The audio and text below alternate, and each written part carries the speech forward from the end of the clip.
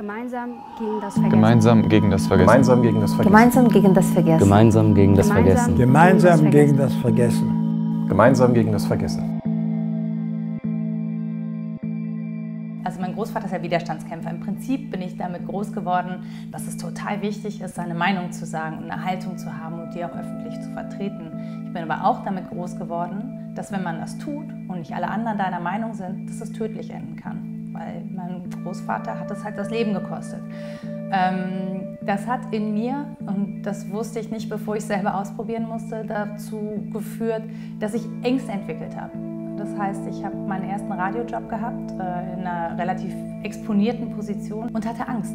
Ich hatte plötzlich Angst, meine Meinung zu sagen, einfach weil ich wusste, wenn das nicht das Richtige ist oder das, was die Allgemeinheit denkt, dann wird das total gefährlich.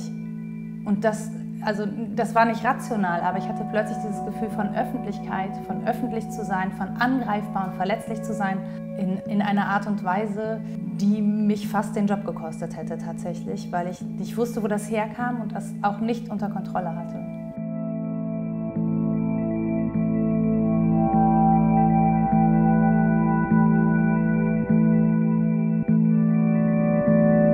Gemeinsam gegen das Vergessen.